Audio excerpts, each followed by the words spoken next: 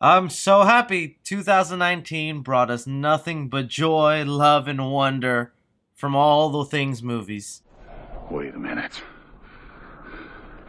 This isn't my world. Disappointed! Hey guys, my name is Chris, and today what I want to do is round off the most disappointing movies of 2019. The year is ending off on a close. I've seen so many movies this year. Every year feels like I'm watching more and more. And since I'm not the type to go ahead and do worst movies of, because making a movie is hard enough itself, I like to look back on the movies that we were looking forward to, looked good, could have had a lot of potential to be another hit classic, but ended up disappointing us either in quality, box office, or personal preference. So in no way are these movies the worst of 2019. These are just movies that left us slightly disappointed. Some of these movies I still consider to be really good, well done movies. They just had elements that disappointed me from what I was hoping to get out of them. Be sure you guys are leaving your list down below of movies that disappointed you this year because I'm really curious to see what you guys have on your list. Alright, in no particular order except for the last few, one of the movies that disappointed me the most this year was Glass. Now, this was supposed to be the concluding trilogy of M. Night Shyamalan's superhero-esque meta thriller movies. A very wild and intriguing concept that M. Night Shyamalan was able to pull off, making Split a surprise sequel to the movie Unbreakable, and then having sort of an Avengers ensemble with all the characters from those movies coming together. The disappointing factor for me is that it stopped becoming meta and it leaned too hard into its comic book narrative without really giving us a clear idea of what was going on with some of these characters. Not to mention that twist twist ending that I can't really call it a twist ending because unless you were building up to it your entire movie, it's more of a surprise ending than a twist ending. M. Night Shyamalan has just been stuck to that where he's the twist guy, where every movie needs to end with a twist, whether it's well crafted or not. And that for me sort of took away some of the greatest parts of this Glass trilogy, which I still ended up liking the movie, just was disappointed with the outcome and how it was closed off. Next movie on the list here that I had such high hopes for because the last installment was so perfectly done, you had big shoes to fill in, Rambo Last Blood. This is the fifth installment of the Rambo franchise, so Sylvester Stallone keeps keeps getting older, but his muscles only get bigger, and he tried making a comeback to really conclude this chapter off, even though I strongly believe that Rambo 4 did that perfectly. He decided to come back, fighting off the cartel in what really felt like a story or a plot that you would see in a 90s straight-to-DVD action movie. The emotions were really lacking. It's actually felt like the least Rambo Sylvester Stallone has been, and more like a glorified Home Alone movie with bad guys coming in to Sylvester's property. There's definitely moments to like, and who doesn't like an actual R-rated Rambo movie, but it did not keep up with the times, and it's the reason 80s, 90s style action movies are dying off, and John Wick is the way to go, because a simple story with just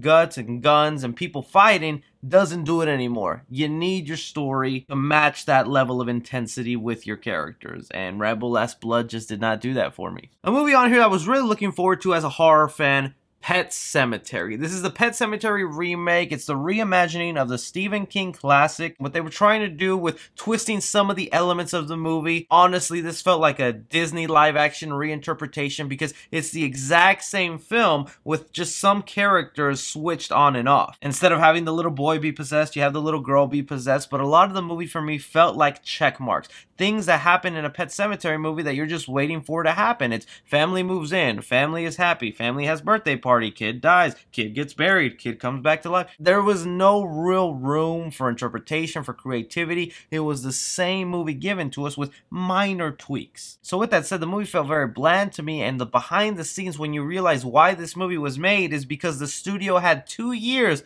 before they had to give the rights back to Stephen King. So this was rushed out just to milk the last cent of this property kind of tells you why the story was the way it was. Another movie here is a franchise film. I guess with these franchise films, you just have a standard, you have a base of where these movies could go, and when they just don't meet them, boy, do they not meet them. Men in Black International. How could you mess this up? Okay, one, you have a great director behind the wheel. Director F. Gary Gray, who gave us Straight Outta Compton, Friday, Fast and Furious 8. The man has proven he's able to direct a great storyline while also making it fun, entertaining, action-packed. And then you have your wonderful cast of Tessa Thompson, Chris Hemsworth, whose comedic timing is very on point for an action star.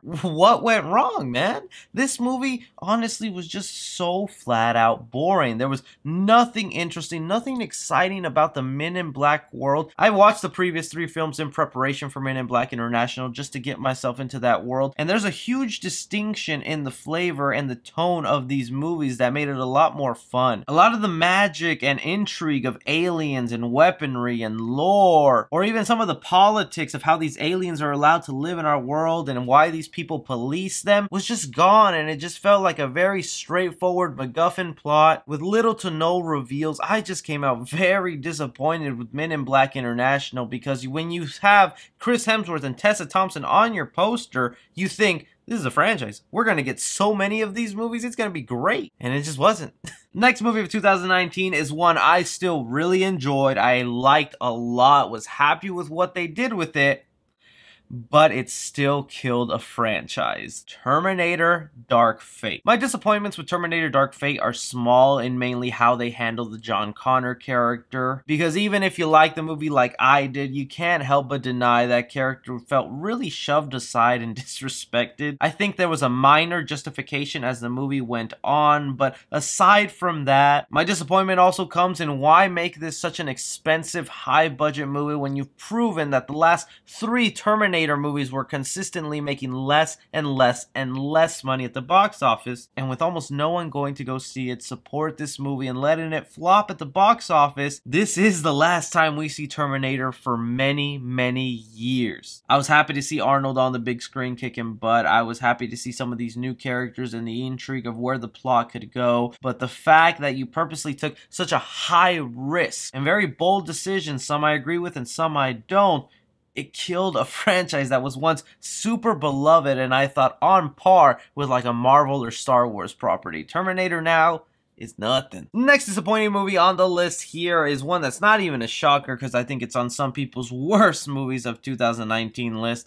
Hellboy. So the Hellboy franchise gets a reboot, gets a reimagining, and man, did this go horribly, horribly wrong. One, not only did you reboot the franchise with basically the storyline of one of the biggest arcs in Hellboy history, to put it into terms, it's like if they rebooted the Avengers and they started with Endgame as their first movie, and you had a great cast with David Harbour as Hellboy, but the comedy Wow, the comedy. I think it's the same effect that the new Predator movie had, where this movie didn't realize it was an action film and tried so hard with the comedy. Because there are some cool things, like the action is fun, the effects are really interesting. Hellboy holding a sword on fire, come on, that's pretty cool. But like I said, this is a big story, it's a concluding chapter that you made your first film. We are not really attached to any of these new characters, and the huge change in tone from the previous Hellboy series to this one is so jarring that it makes you realize just because it's a comic book property does not mean it's going to succeed in the box office like a lot of other comic book properties. Another movie I had a lot of fun with and visually was fantastic to watch on screen, but the story and the reception from general audiences just wasn't there and made us delay the third big movie. Godzilla King of Monsters. What I mean by delay the big third movie is this film was so disappointing to some people that the studio actually delayed and is reworking on Kong versus Godzilla just because they're like, well, we kind of did the same thing here with King of Monsters. People didn't like that. We got to rework King Kong versus Godzilla. Admittedly, super excited for that, but this movie, you gave us all the monsters we could have asked for. You gave us all the action we could have wanted, and the visual effects were fascinating but you boggled us down with those human characters and those dumb subplots. We're here to see the monsters fight, and even that wasn't enough to keep us fully entertained. It performed very bad at the box office, not a lot of people showing up, which just surprises me because just the promise of Godzilla fighting so many monsters was not enough to bring a lot of people to the theater.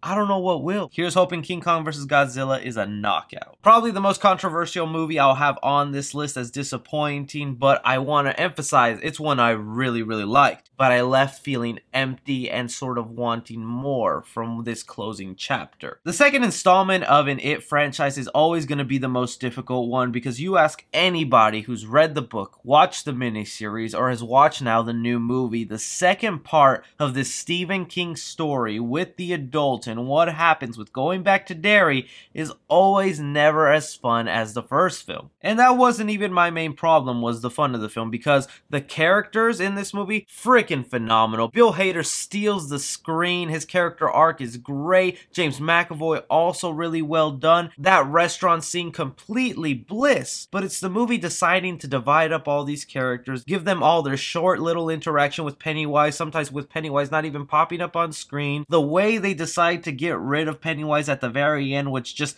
bullying him until he turns to a baby. Come on, we had baby Yoda, we had baby Pennywise this year, guys. And then all the little weird aspects that were brought over from the Stephen King book of the ritual of Chud and hypnosis and all these odd things that we focus so heavily on that by the end of the movie, that didn't matter at all. It Chapter 2 would have been the perfect example where you stay away from the source material because even the source material doesn't have all that much substance to pull away from, and that's why movies from books are called adaptations. You adapt to that form of storytelling, you adapt to make it more interesting, you take creative liberties, Chapter 2 just didn't decide to do that. It decided to follow what Stephen King did and be faithful to that. It gave us a long movie that felt long. Still a really great, solid film, but this could have been fantastic. And the fact that it didn't surpass the last movie, it left me a feeling a little empty. And for the most disappointing movie of 2019, in my opinion, the Rise of Skywalker, man. Star Wars The Rise of Skywalker is supposed to be the concluding chapter to nine films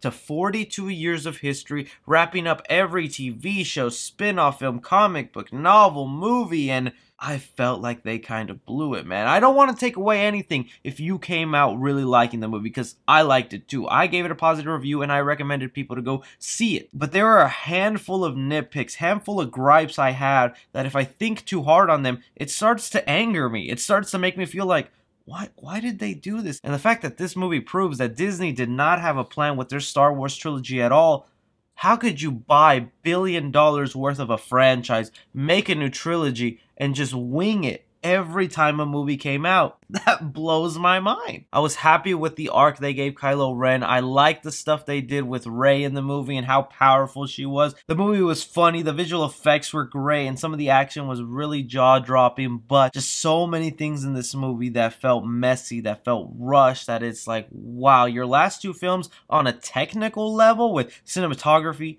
pacing, story, felt really good. This movie it did come out feeling like a fan film. There's plenty of stuff to love in it. I'm just hoping that maybe this is an example that Disney really needs to learn when they do another trilogy or whatever Star Wars movies they continue doing. They're capable of great content. Just look at The Mandalorian. And I hope they take that lesson from this and we'll get nothing but great Star Wars movies from here on out. But that was just my list of most disappointing movies for 2019, guys. Really, it was still a fascinating year and it was kind of hard for me to make 10 movies that I actually found disappointing, so that was a good sign. But I'm really curious to hear what you guys found most disappointing this year. Leave them down below whether it was one movie in particular or 10, 5. I want to hear it. Be sure to like and subscribe. Follow me on Twitter at 3C Film Review. As always, I'm Chris. Take care.